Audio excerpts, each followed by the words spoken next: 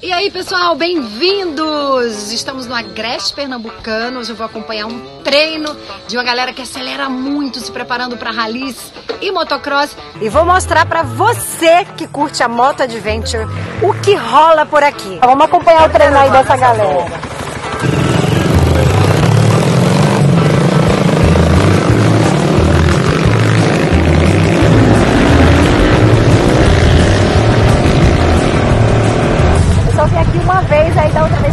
Molhada a pista, agora tá super seca, incrível. Depois que fez a pistazinha, o CT, o centro de treinamento nosso aqui, duas vezes por semana a gente, quarta e sábado a gente tá aqui treinando e ficou bem melhor para nós, para nossa preparação e, e ficou muito bom, muito bom.